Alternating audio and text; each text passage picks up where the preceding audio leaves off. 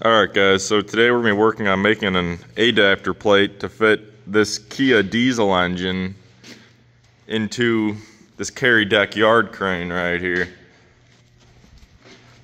This right here is the old engine and so the first part that I did was I got everything and I cleaned it all, put it all back together and I need to pick up this distance right here from this distance right here so I was able to clamp a straight edge right here and then I could then use a bore gauge to pick up that distance right there. It's not the best method to do this. It'd be much better to use a proper depth gauge, but I'm working with what I have here.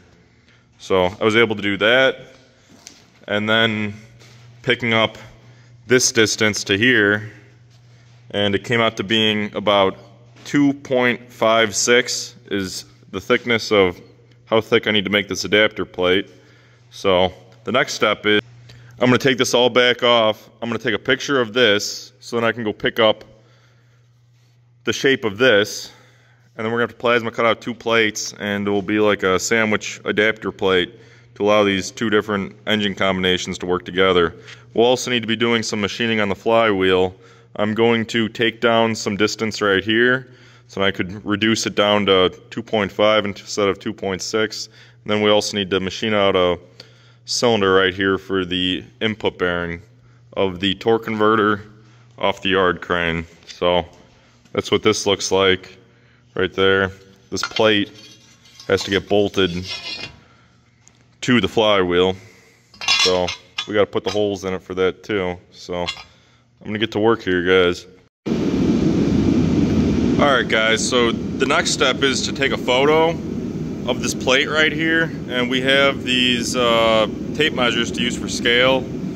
Uh, this is so that then when I upload the photo I can scale it to size. I'm not going to use this to get the exact bolt hole dimensions but all I'm using this for is just to get the general shape right here so then when I plasma cut it out I can get that shape but we're not going to use it though pick up these holes. For these, we're going to use a milling machine with a digital readout. So basically what you do is you just hold the camera still and you snap a photo like this and then I can upload it then to Fusion 360 and draw this out in CAD.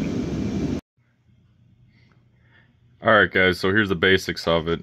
I uploaded this photo right here to Fusion 360 and then I was able then to use that to kind of generally scale the photo to what it was. It's not very accurate because of discrepancies in the angle of the camera and stuff like that. But then I then came up with this. It's basically going to be two plates sandwiching uh, some uh, inch and a half by inch and a half solid bar. And uh, I still got to clean it up for cutting.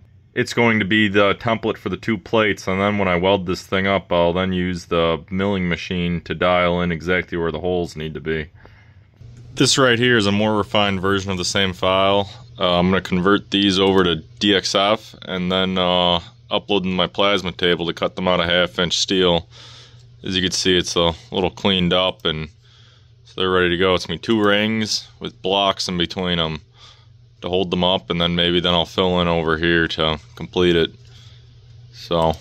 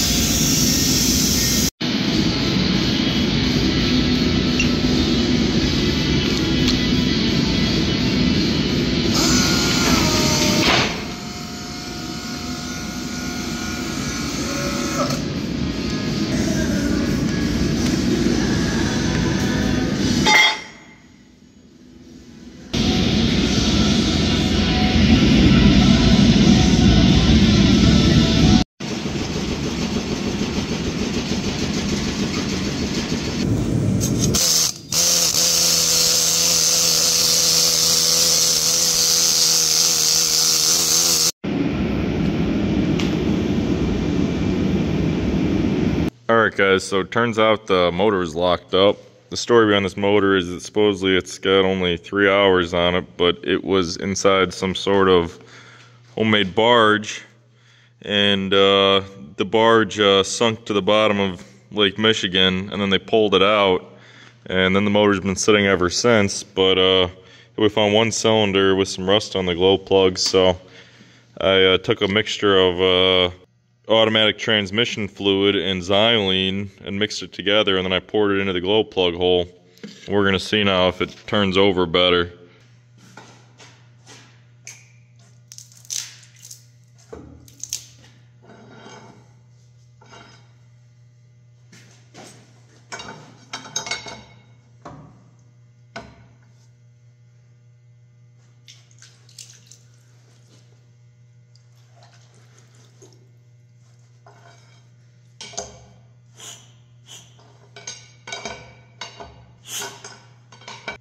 Couple tries, but I was able to bar it over.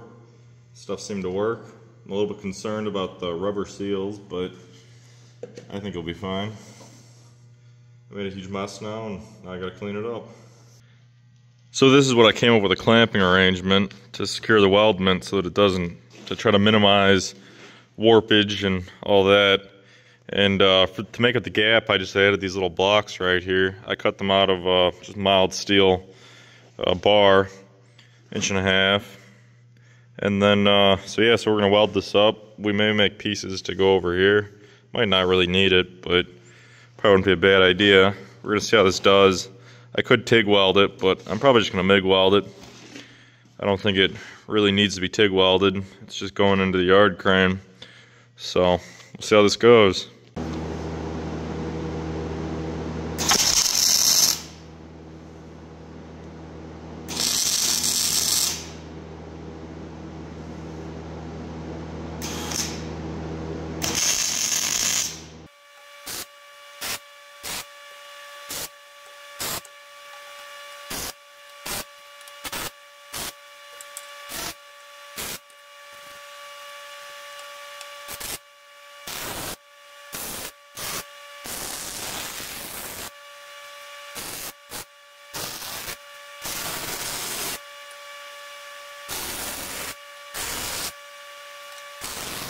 Well guys, after measuring, you can see is that this thing shrunk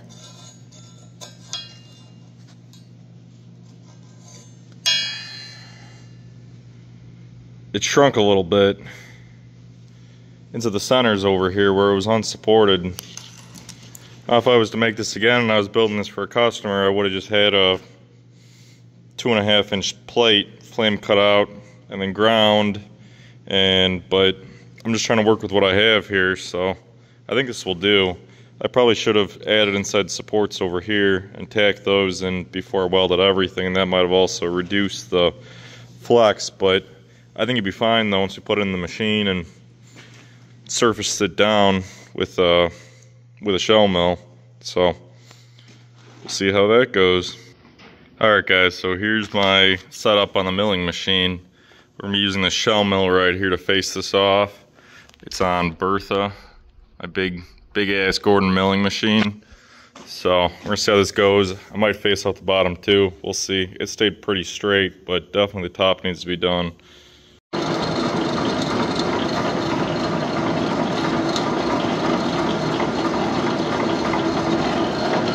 As you can see, we're just barely touching off on it right now.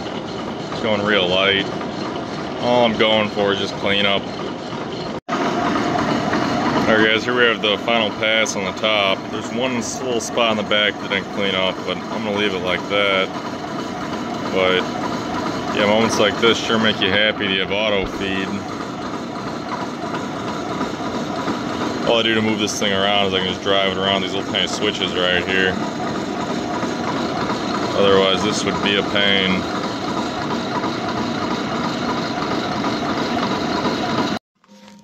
It's not too bad.